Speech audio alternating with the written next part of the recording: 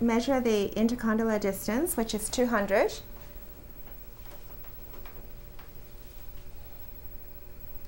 And now we're ready to tell the computer the CR position. So slide forward, to Tomoko, and slide all the way back and hold it.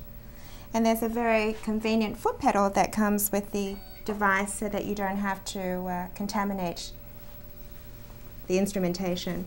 Now Tomoko, we're going to we're going to measure you sliding all the way forward and all the way back. And when I tell you to, if you can go through that motion. Now, slide forward and all the way back. Good, and you can get an immediate graphic on the machine to see whether the range of movement was, was uh, recorded. Tomoko, I'd like you to see whether you can slide a little bit more forward now. And we can easily just redo that tracing. So Tomoko, if you want to practice, just slide all the way forward, as far forward as you can. Good, and back. Good. Let's do that again. Slide forward and back and hold. Very good.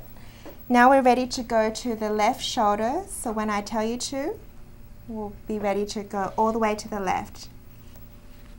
And back. Good. Let's do that again. Left and back. Good. Excellent.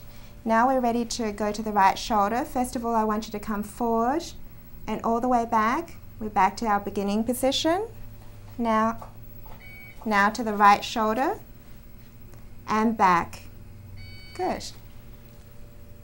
And our final record is to open and close. So when I tell you to, we'll be ready to do that. Now, open and close. Excellent. Good. That's all done. So the jaw tracing is complete. This information will be downloaded into the computer and analyzed and articulator settings can be transferred to the articulator.